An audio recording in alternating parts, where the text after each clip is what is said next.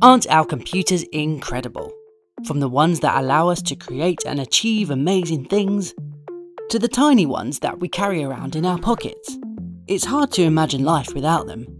Well, someone who imagined computers before they even existed was a man called Alan Turing. Turing was a genius. He was a war hero, and he was also gay. Alan Turing was born in London in 1912 and as a child, it soon became clear that he was a natural genius. Because Turing was able to solve advanced mathematical and scientific problems before he had even been taught how. In 1935, whilst he was a student at King's College in Cambridgeshire, he came up with an idea. An idea of a machine which could very carefully follow rules and deliver an output.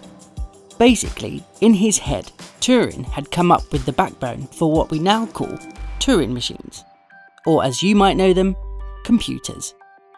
In fact, Turing is largely considered responsible for laying down the foundations of modern computing. Also, Turing was so smart that he was recruited by the British government during World War II to help crack and decode enemy messages.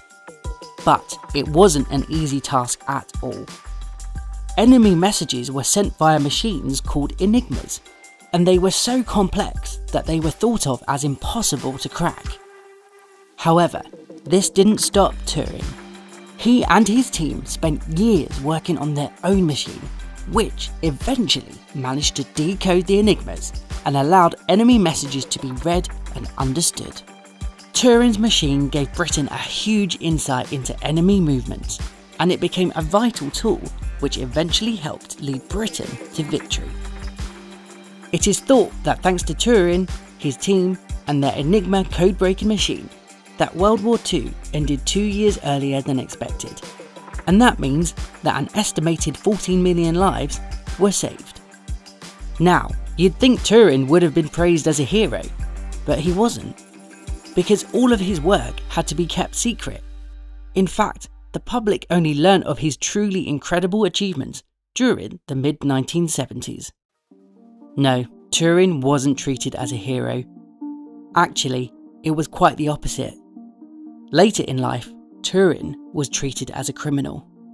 You see, Turing lived at a time when gay people were not treated fairly.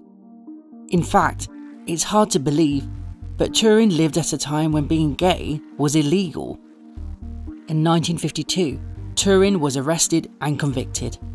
He was given a choice prison or undergo chemical treatment to try and fix his homosexuality. And I'm going to stop right there to make sure that you fully understand that no amount of treatment can fix a person's homosexuality, and that is because being gay is not, never will be, and never was something that needs to be fixed.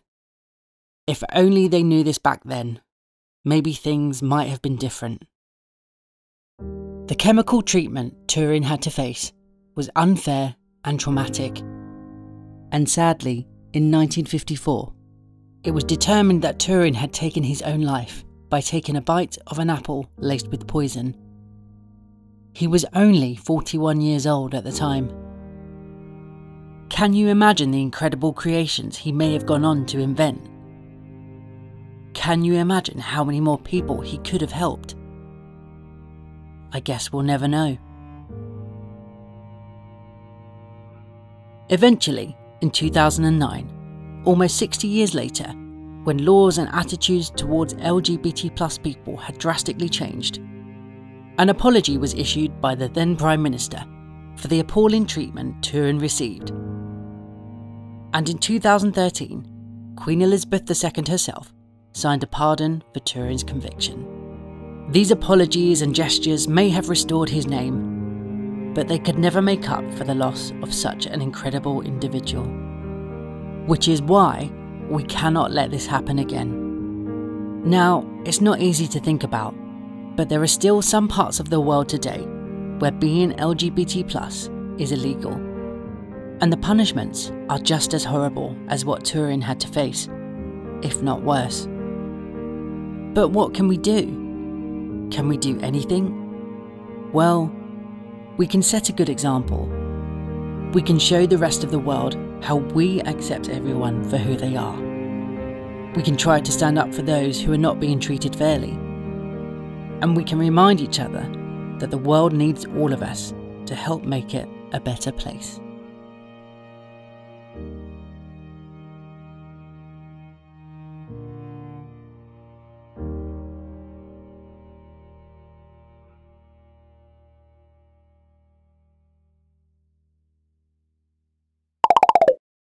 Hey everyone, thanks for watching our video. We hope you like it. And if you do, please share it.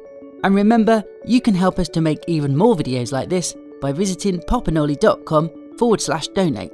And don't forget to check out our inclusive children's books too.